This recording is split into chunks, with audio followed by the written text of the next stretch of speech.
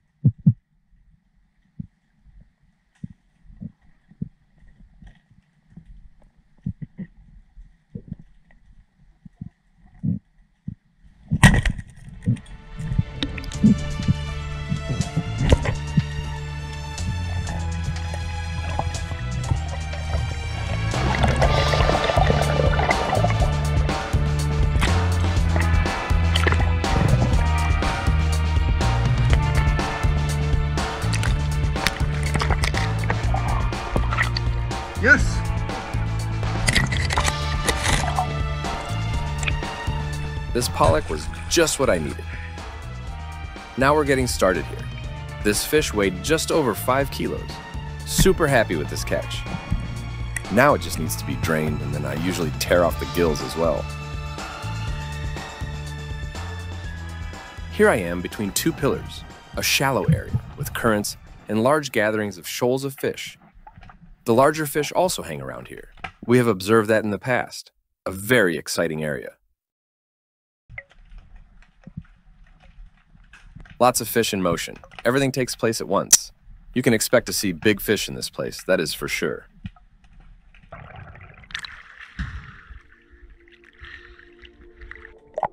So I invest some time here to look around.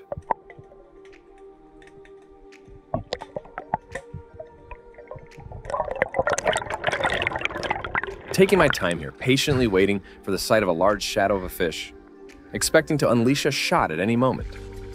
That's why I locate my buddy in between each dive. I know if I am patient now, the reward will come. The big fish is coming.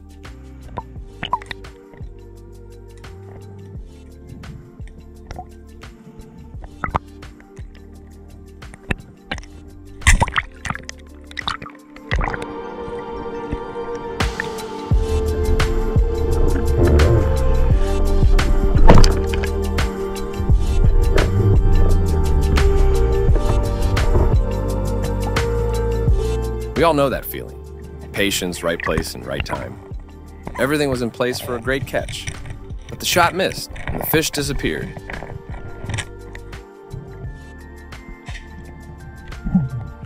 Meanwhile, my buddy has moved over to the third pillar.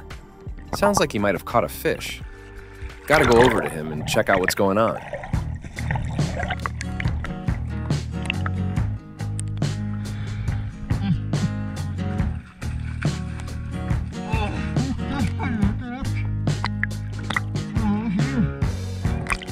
Was a beautiful fish he caught. It was over five kilos. Lots of food in it. This place delivers, as always.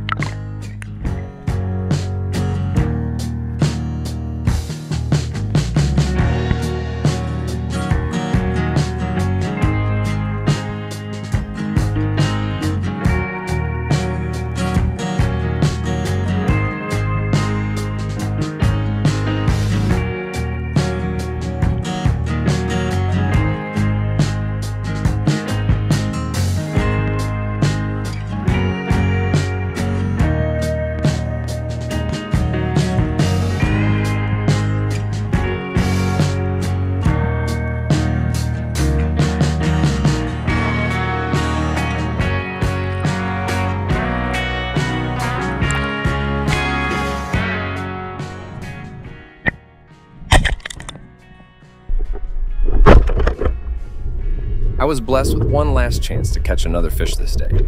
The shot goes through the fish, and everything looks good at the start.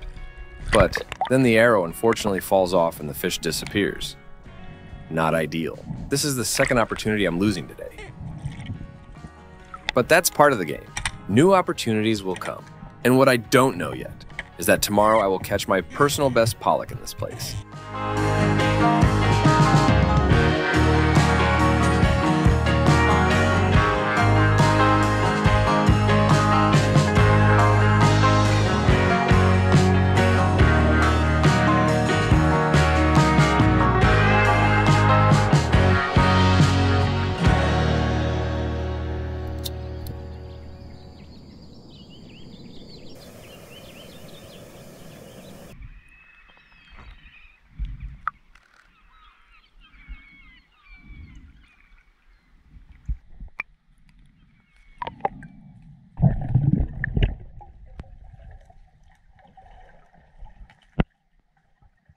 My first dive for today.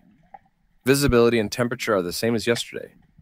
Visibility varies with high and low tide, and the sun has been replaced with morning mist and overcast. We see a lot of fish. The shoals are in their usual places, and the water is a little darker now that it's cloudy.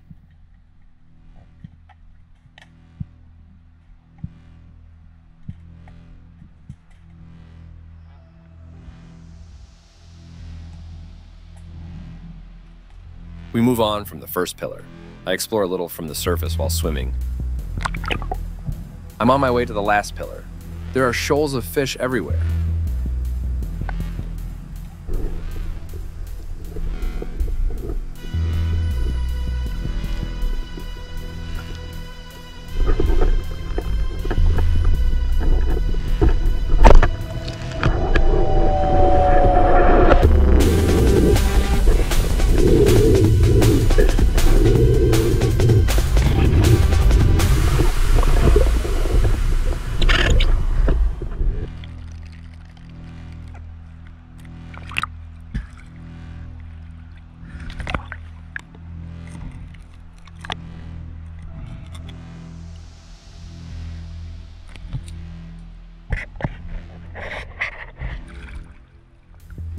My biggest pollock so far. The scale stopped at exactly 7 kilos. Lots of good food. Now the fish meat must be processed. First, we gut the fish. Then, all the meat must be packed into freezer boxes. All that is already ready at the campsite.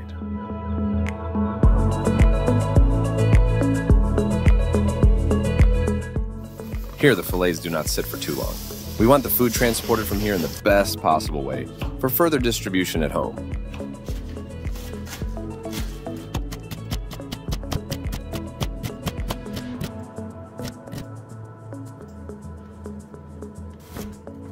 Here you can see the catch from the trip. Much of that meat goes into fish soup for the whole family, plus some guests. We throw a lot of goodies into the pot. Lots of cream, a little wine, chives, salt and pepper, to name a few. And finally, the fish. Then the end result will be delicious.